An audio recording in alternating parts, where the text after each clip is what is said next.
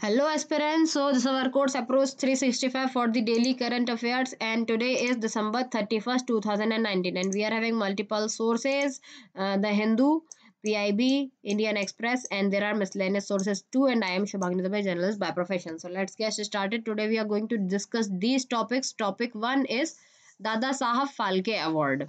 Okay. So we are having this Dadasaheb Phalke Award. The second is India's first university for transgender community. Then topic third is Council of Scientific and Industrial Research, that is CSIR. Then topic fourth is Drake Passage. Then topic fifth is Preamble in the Constitution of India.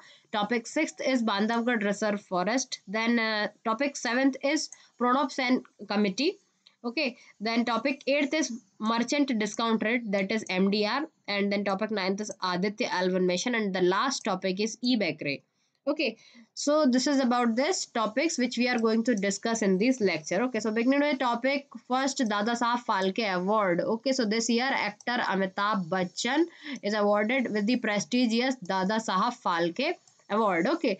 So Dhundiraj Govind Phalke is the pioneer filmmaker who gave India its first film Raja Harishchandra in 1939 after this uh, this was the award okay. So keep this in mind that Dhundiraj Govind Phalke was the first pioneer filmmaker who gave his first film uh, film was Raja Harishchandra which was uh, released in 1939 after which Dadasaheb Phalke award was introduced okay. So the award is named after him. His full name is Dhundiraj Govind Phalke and it is the Indian cinema's highest honor. Okay so for the indian cinema if somebody is awarded with this dadasaheb phalke award then it is uh, the most prestigious award. Okay so the award is a part of national film award and themselves a highly coveted collection of the honors in the film industry. And it is awarded for outstanding contribution to the growth and development of indian cinema okay so this is something which is uh, given to those actors which who are awarded for the outstanding contribution to the growth for the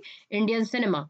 Okay it is presented annually by ministry of information and broadcasting. So ministry of information and broadcasting present this award and it consists of a swarna kamal that is golden lotus then a cash prize of rupees 10 lakh is there a certificate is there and a silk roll and a shawl okay so such these things are there in the dadasaheb phalke award. It is presented by the president of india. So president of india present this award in the presence of union minister of information and broadcasting okay so as of now smriti irani is there.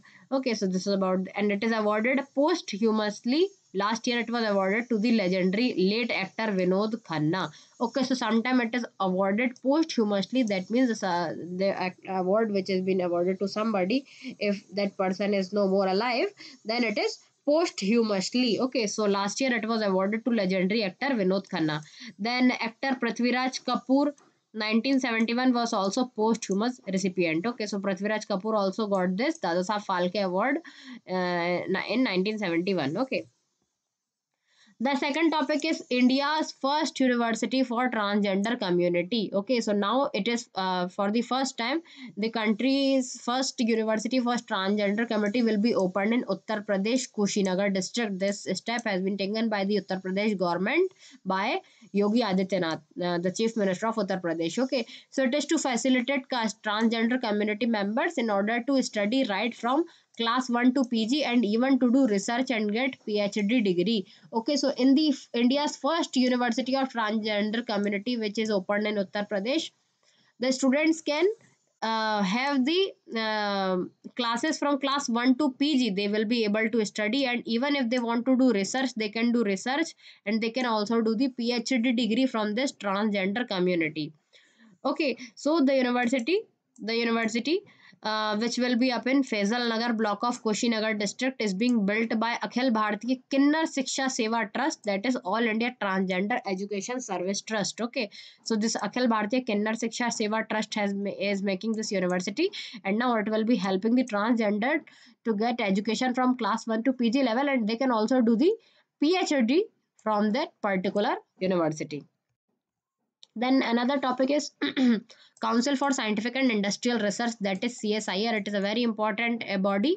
Okay so council of scientific and industrial research that is center institute of medical and aromatic plant CIMAP it developed a low cost technology to prepare geranium sapling. Okay so geranium they have developed a new technology of geranium sapling and make this available for the farmers too and it is also making this available for farmers. Okay so the new technology it will help to boost the production of geranium under aroma mission okay so this is the aroma mission under which this technology have been developed and it is low cost technology of geranium sapling okay. So council of scientific and industrial research is the largest research and development organization. Okay. So it is india's largest research and development organization in india.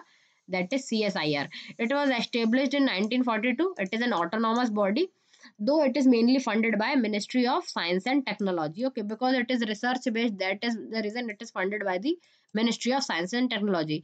It is registered under society registration act 1980 okay so this is the registration society registration act 1860 and this is the reason as a council of uh, scientific and industrial research is there sorry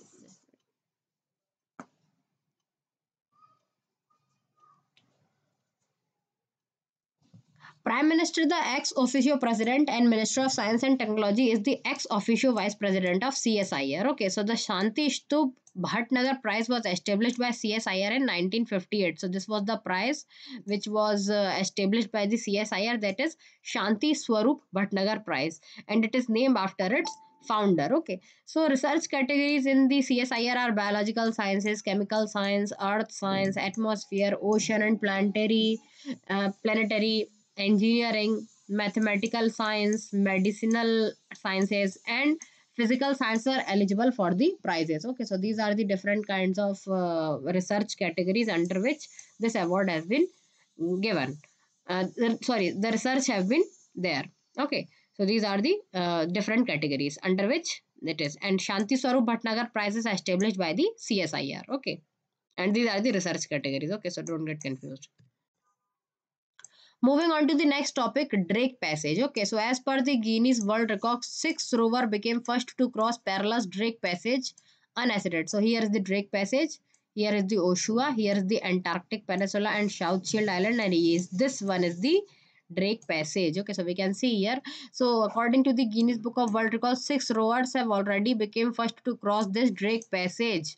Okay, so the project was dubbed the Impossible Row for which the team departed from Cape Horn in Chile on December 13th and arrived at Primavera Base on San Martin Land on Antarctic Peninsula on December 25th. So it was almost a 15 day for uh, we can say 12 day expedition under which this happened and Drake Passage deep waterway 600 miles 1000 kilometer wide connecting the Atlantic and Pacific Ocean between Cape Horn and the South Shetland Island okay so this is about the drake passage. It is situated 100 miles north of the antarctic peninsula. Okay so this is about the drake passage and uh, it is there. So this is the antarctica region and this is the argentina region and it took almost 12 days for these the impossible row to pass to cross this drake passage. Uh, it is defined as the zone of climatic transition separating the cool humid subpolar conditions of Tierra del Fuego and the frigid polar region of Antarctica. Okay, so we can see that there are two different, here is the Antarctica circle and here is uh, the area. So here the cold region is there and here is some humid region is there. So it is the uh, passage which defines the zone of climatic. It's separating the cool, humid, subpolar conditions and the frigid polar regions of Antarctica. The waters of the Drake Passage are rich in plankton. So there are so many planktons in this Drake Passage and particularly shrimp-like crustaceans called krill are found in this passage. Okay, such organisms define the essential food source for blue and fin whales, squid, emperor penguin, and the crab seals. Okay, so these are the organisms which are in this pass. Okay. The next topic is preamble in the Constitution of India. Okay, so we are having a preamble. The Constitution, particularly preamble frequency, uh, frequently been at the center on the ongoing debate over citizenship amendment act. Okay so because of the citizenship amendment act most of the people are saying that there is a question mark that whether this amendment is fulfilling the uh, conditions of preamble of india Okay, so the original preamble adopted by the Constituent Assembly was in 1949. So for the first time in year 1949, the original preamble was there and it declared India as a sovereign democratic republic. Okay, so by the 42nd Amendment of 1976, okay, so it was the 42nd amendment which was enacted during the emergency okay? So emergency was in 1975 and it was during uh, emergency the word socialist and secular were inserted okay? So during that time in the 42nd amendment these two words are the important one which were added in the constitution okay? So secularism that is dharm nirpeshta and the socialist that means samajwadi okay?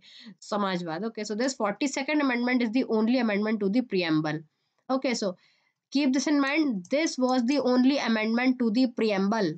As of now, no other amendment happened in preamble. The 42nd amendment is the only amendment. Okay, so the preamble now reads Sovereign Socialist Democratic Republic. The preamble is based on the objective resolution which was moved by Pandit Jawaharlal Nehru on December 13, 1946. Okay, so there was an objective uh, resolution which was passed by Pandit Jawaharlal Nehru. Okay, and in that time the resolution was adopted on january 2nd 1947 okay so it was passed. It was moved on december 13 1946 but after few days only within a period of one month in january 22nd this was adopted. So constitution of united states was the first constitution in the world to begin with preamble okay so what we have taken this preamble from the constitution of united states india like some other countries also followed this practice okay so after that india also followed this practice so this is about the preamble and the constitution of india then another topic is Bandhavgarh Reserve Forest. Okay, so why it was in news? Because for the first time in the Bandhavgarh Reserve Forest in Madhya Pradesh, they have seen the colony of elephant. Okay, so it is an unusual occurrence in the Bandhavgarh, which is over the year plays host to herds of elephant that arrive to graze and forage and subsequently travel back to neighboring Chhattisgarh. Now they has a colony of elephant. While India is home to 50% of Asian elephant population. India has almost 50% Asian elephant population and according to 200, 2017 elephant census there are 27,312 elephants in the country. A decrease, however, of nearly 3,000 from 212 census, there is no elephant in Madhya Pradesh. But now, because if they are saying that there is a colony of elephant, so it is possible that in the Bandhavgarh, there is a possibility of these elephants. So, uh, Bandhavgarh National Park, it resides on the extreme northeastern border of Madhya Pradesh and the north edge of the Satpura mountain ranges. Okay, so extreme in the extreme northeastern border, Bandhavgarh National Park is there. And due to the tropical monsoon climate zone, the park has been characterized by well-defined winter, summers and rains and is supported by the weather definitely makes the whole environment more lush and unbridged. Okay, so this is about the Bandhavgarh Reserve Forest and because of the colony of elephant, this was in news. The next topic is Pranab Sen Committee. Okay, so the Statistics Ministry has constituted a 28 member standing committee on economic statistics. Okay, so there is a 28 member committee its committee name is Standing Committee on Economic Statistics. It was chaired by former chair statistician Pranab Sen to improve quality of data and criticism of the government over political interference. Okay, so this is about the committee. The first meeting of this SECS, the SCES, that means the uh, Standing Committee on Economic Statistics is scheduled on January 6th 2020 okay so this is the date in which this meeting is scheduled. Okay so the panel will be reviewing and develop the country's surveys on employment industry services sector and amid criticism of official statistics. So this is about the Pro Sen committee. It is standing committee on the economic statistics. Okay the next topic is merchant discount rate. Okay so why we are discussing it? Because it is the cost of cost paid by a merchant to a bank for accepting payment from their customers via digital means. Okay so merchant discount rates basically it is in order to promote the digital transaction this merchant discount rate is there. So merchant discount rate is expressed in percentage of the transaction amount. Okay it is also applicable for online transaction and qr based transactions all right the amount that the merchant sorry what is that? Okay the amount that a merchant pays for every transaction get distributed among three stakeholders. So basically three stakeholder distributed. That is the bank enables the transaction then the vendor that installed the point of sale machine and the card network provider such as visa mastercard and the RuPay. Okay so union finance minister they have recently announced that from january 1st 2020 business with annual turnover of more than 50 crore will have to offer low cost digital payment option to consumer and merchant discount rate will not be levied on either customers or merchants. Okay so if they are having a business of over 50 crore then uh, there will be uh, the cost digital payment will be there but there will be no dis merchant discount rate for the customers or for the merchants. Next topic is aditya l1 mission. Okay so aditya l1 mission was conceived as a 40 kg class satellite carrying one payload. The visible emission line coronagraph was planned to launch in a 800 kilometer earth orbit. Okay so it is also a mission. And it is a class satellite carrying one payload. And the satellite placed in the halo orbit around the lagrangian point l1 of the sun system has the major advantage of continuously viewing the sun without any occulting eclipses. Okay so therefore, the Aditya 1 mission has now been revised to Aditya L1 mission and will be inserted in a halo orbit which is 1.5 kilometer from the Earth. Okay, so this is about the Aditya L1 mission. Then there is eBkray. It is a common e-auction platform to asset attached by various various East Run Bank launched recently by the Union Finance Minister. The platform is equipped with property search features and navigational links. So this is a basically a e-auction platform, eBkray. Okay, so it is a e-auction platform and it is uh, attached by the uh, launched by union finance minister for various state run banks. Okay so somehow it is for the banks. So it will be having various feature e-auction sites. It will be provide single access to information and properties as well as facility for comparison of similar properties and also containing photographs and video of uploaded properties. Okay so this is about the eBkray and it is about the psb e-auction site okay? So psb e-auction site is there and will provide the single window access to informations. And it will be also containing the photographs and video uploaded properties. So aspirants this was today's lecture and i am wishing you all a very successful and happy new year ahead for the year 2020 and thanks for watching